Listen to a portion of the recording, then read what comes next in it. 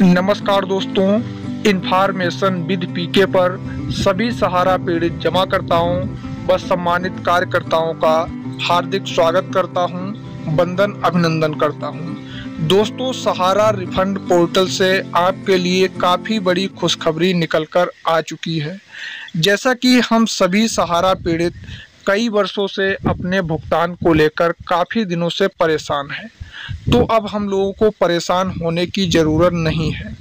तो आइए देखते हैं क्या सहारा पोर्टल से खबर निकल कर आई हुई है। तो दोस्तों, काफ़ी इम्पोर्टेंट वीडियो रहने वाला है। चैनल को सब्सक्राइब नहीं किए हैं तो प्लीज़ हमारे यूट्यूब चैनल को अवश्य सब्सक्राइब कर लें और बेल आइकन को प्रेस करना ना भूलें। वीडियो को स्किप नहीं करना है, वीडियो को लास्ट तक देखना है। तो हम आपका कीमती समय न वेस्ट करते हुए सीधा वीडियो को यहीं से स्टार्ट करते हैं दोस्तों। सहारा बंधु, जैसा कि हम सभी लोग जानते ही हैं, सहारा पोर्टल को आए हुए एक वर्ष से ज़्यादा हो गया है, लेकिन अभी तक किसी का भी भुगतान नहीं हुआ है। फ़र्स्ट फ़ेज़ में नाम मात्र के लोगों को दस हज़ार रुपया पोर्टल के माध्यम से दिया गया था। बाकी भुगतान नहीं किया गया।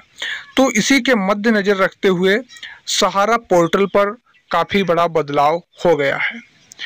काफ़ी दिन से ये खबर निकल कर आ रही है तो मैंने सोचा आज इसका भी वीडियो बनाया जाए। तो सहारा पोर्टल में काफ़ी बड़ा अपडेट किया गया है, काफ़ी बड़ा बदलाव किया गया है कि पोर्टल के माध्यम से अब निवेशकों को पचास हज़ार रुपये तक का भुगतान किया जाएगा। यदि आपका पचास हज़ार से ऊपर आपका भुगतान फंसा हुआ है, आपका पैसा सहारा की किसी भी सोसाइटी में पचास हज़ार से ऊपर जमा है और आपका भुगतान अभी तक नहीं मिला है तो पोर्टल का कहना है कि पचास हज़ार तक आप भुगतान एक बार में पा सकते हैं। पहले भुगतान मिलता था मात्र दस हज़ार रुपया फ़र्स्ट फ़ेज़ में। अच्छा आप लोग एक ये कमेंट में बताइए कि आपको अभी तक किसी को पचास हज़ार रुपया का पेमेंट पोर्टल के माध्यम से क्या मिला है दस बीस दिनों के अंदर? अगर मिला हो तो नीचे कमेंट सेक्शन में ज़रूर अपना कमेंट बताएँ। और ये तो बात हो गई सहारा पोर्टल की, कि जिनका पचास हज़ार से ऊपर है, उनको पचास हज़ार रुपये तक का भुगतान एक ही बार में किया जाएगा। और बाकी पचास हज़ार से जिनका कम है, जिसका बीस हज़ार है, दस हज़ार है, पैंतालीस हज़ार है, अड़तालीस हज़ार है, उनको उसके हिसाब से भुगतान किया जाएगा।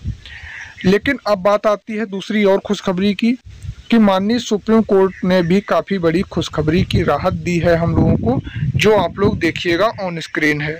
देखिएगा स्क्रीनशॉट है। दस हज़ार करोड़ जमा करने के लिए सहारा समूह पर संपत्ति बेचने पर रोक नहीं।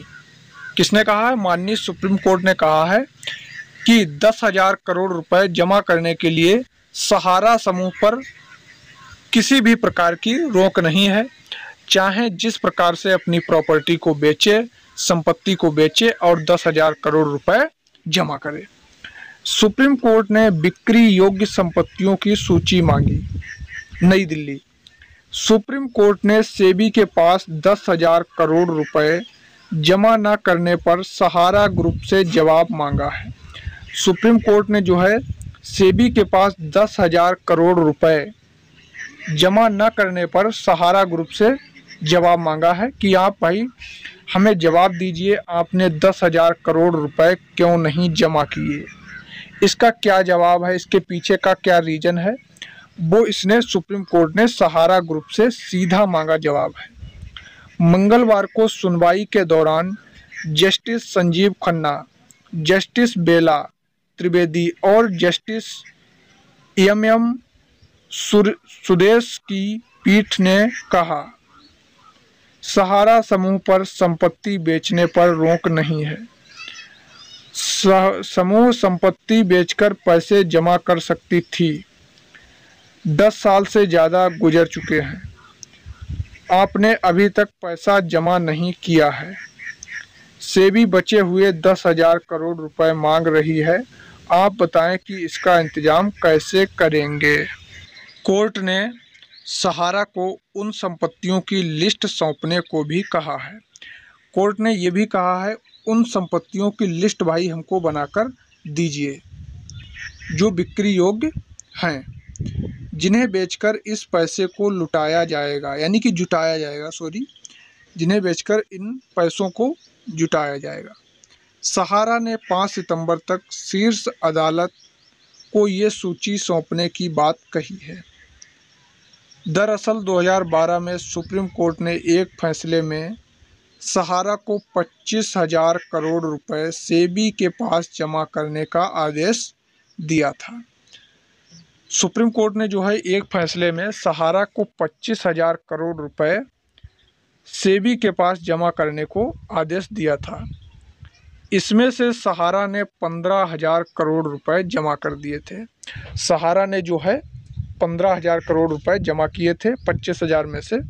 तो बाकी उसी में से बचे हुए जो दस हज़ार करोड़ रुपए हैं, वही सहारा की तरफ़ से पेश हुए वकील कपिल सिब्बल ने कहा कि कंपनी को बचे हुए पैसों की भरपाई करने के लिए प्रॉपर्टीज़ को बेचने का सही मौका नहीं मिला।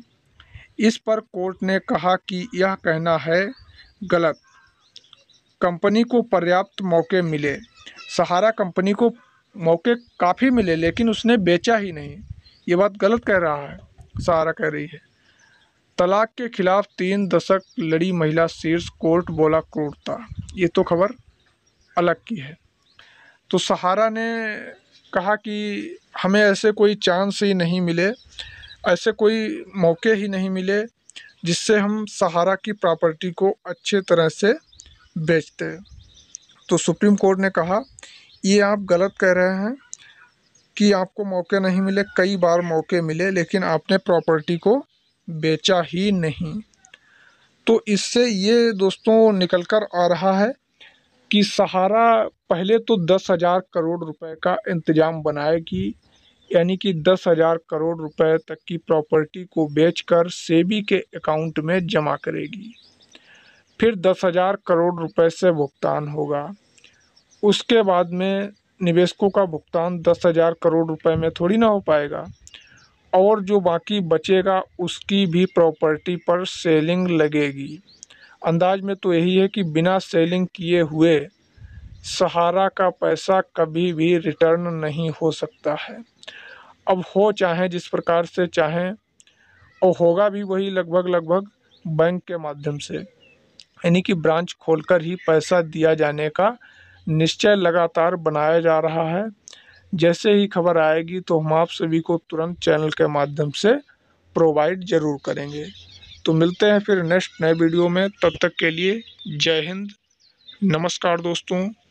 जय जवान। जय किसान।